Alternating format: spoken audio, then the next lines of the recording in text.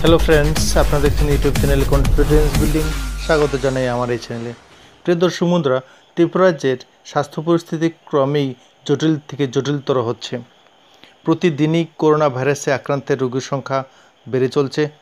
এমন একদিন বাদ যাচ্ছে না যেদিন করোনা রোগে আক্রান্ত হচ্ছেন না এ রাজ্যের একজন নাগরিকও। আজও আটজন করোনায় আক্রান্ত হয়েছেন। তার মধ্যে পশ্চিম জেলার তিনজন শিবহর জেলা জেলায় তিনজন ধলাই জেলায় একজন, গুমতি জেলায় একজন। অর্থাৎ ত্রিপুরাতে আজ মোট আটজন করোনা ভাইরাসে আক্রান্ত হয়েছেন।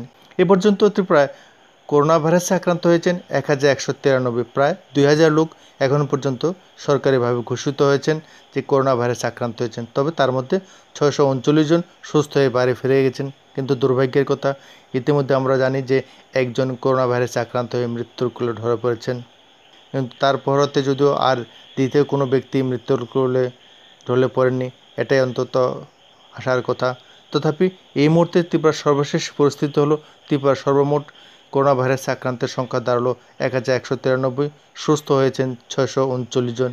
এবং আজ এই মুহূর্তে সর্বশেষ যে খবর রাজ্যে মাননীয় মুখ্যমন্ত্রী দিয়েছেন তা হলো আটজন করোনা ভাইরাসে আক্রান্ত হয়েছেন। প্রিয় দর্শক বন্ধুরা, সংক্ষিপ্ত আকারে আজকের অনুষ্ঠান এখানে শেষ করছি। সবাই ভালো থাকুন, সুস্থ থাকুন।